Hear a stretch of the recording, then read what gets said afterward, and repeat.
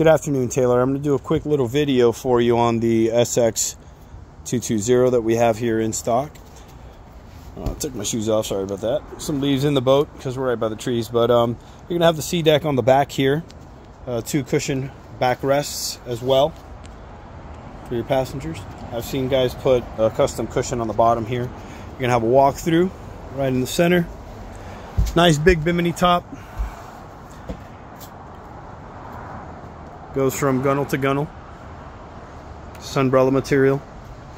You're going to have your interior cushions. You do have a filler cushion for the center there.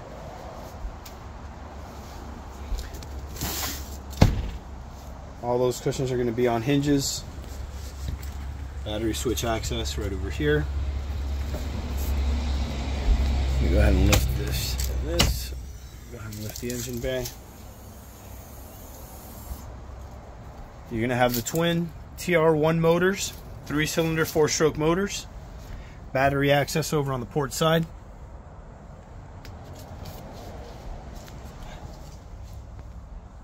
Throttle cable access, you're going to have your blower motors right over there. Very simple motor, plenty of horsepower for this boat here. It does come with a cooler. You're gonna have your twin controls, Jensen radio, no wake modes and switches, cruise control. Uh, all of your gauges are gonna be, well, all of your systems are gonna be through the single gauge. You're gonna have your phone charger. This is going to be your antenna, satellite antenna, USBs and auxiliaries right over here. Cup holders throughout the whole boat. You can see kind of everywhere anybody's gonna be sitting, there's gonna be a cup holder around. Right over back here as well here. Both of these captain's chairs will go 180 degrees, so you can rear face with these chairs. And the driver's captain's chair does slide forward and back.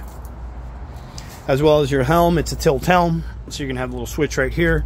And then it does go to the up position or the down position.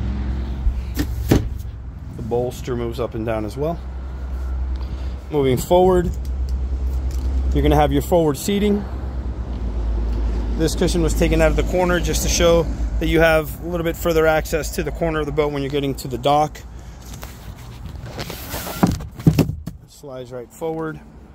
Underneath here, you're gonna have the additional cushions that fill in and these two tracks over here that you see. And then once you put the cushions in and these two cushions down, it'll make a complete layout area as well. Right in this area here. And then you can get one of those cushions and actually put it in the back here to have it as a forward facing backrest. And again, cup holders in the front with grab rails. You're gonna have your windshield that flips over, which is nice. Um, that way, if you guys are on your way back from the sandbar, you guys can go ahead and close the window and have your butterfly locks right over here. Uh, then what you can do is you can go ahead and open up this little door and lock it in right here. And that will restrict the wind for your passengers on your way back after the sunset.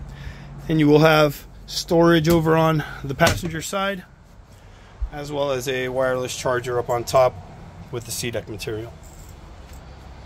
Bolsters all the way around as well. Additional storage. And that's going to be one of the front cushions as well. And you will have storage on the port side. Garbage receptacle and table.